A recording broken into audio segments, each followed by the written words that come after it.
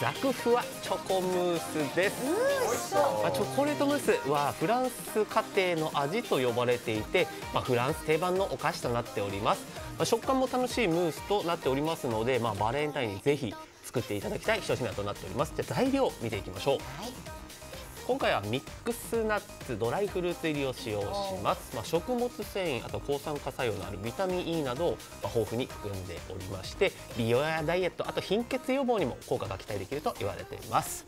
あとねコーヒーとの食べ合わせが抜群ということで体内の脂肪燃焼効果を高めてくれる働きがあると言われてますので、まあ、これらを使ってですね吉く君に3分で作っていただこうと思います。簡単カラフルクッキングスタートです。さあではもうどんどんいきましょう。メインの板チョコと、えーミックスナッツ。今回はだからコンビニとかでもね結構売ってます。あのドライフルーツが入ってるやつをもう使用しちゃいます。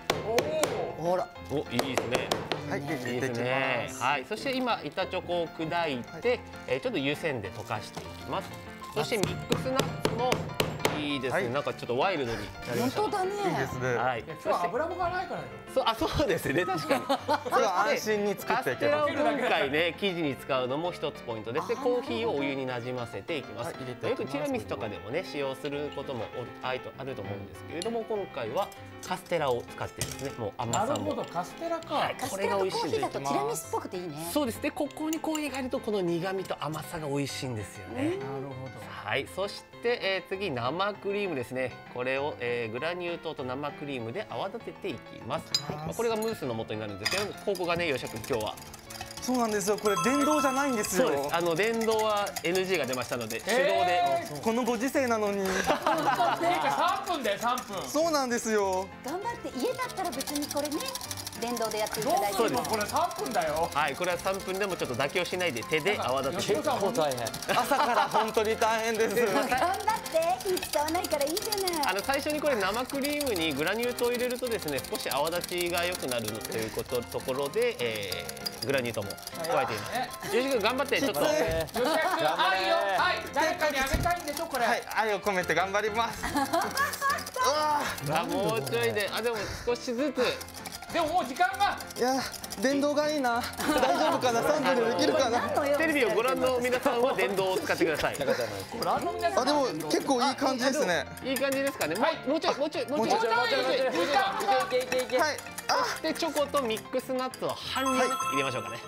はい、よ1分かかったねこれだけで、大丈夫？熱くないかな？熱くないです。はい、じゃあ、えー、チョコですね。湯煎で溶かしたチョコを加えて、あとミックスナッツもこれいい香り。半量加えます。まあ仕上げに半分入れるというところで、今回半分ぐらいはい。入れて混ぜ合わせます。混ぜていきますね。ほぼ混ぜてるだけだもんねそうです。はい。でこれがまあムース。労働ですね今日はそうですね。労働力仕事一番大変ですよ。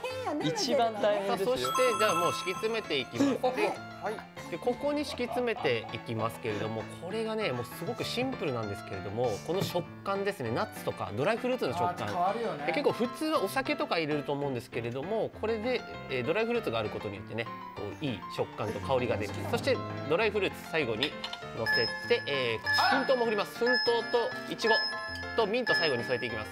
これでいちごとミント添えて完成です。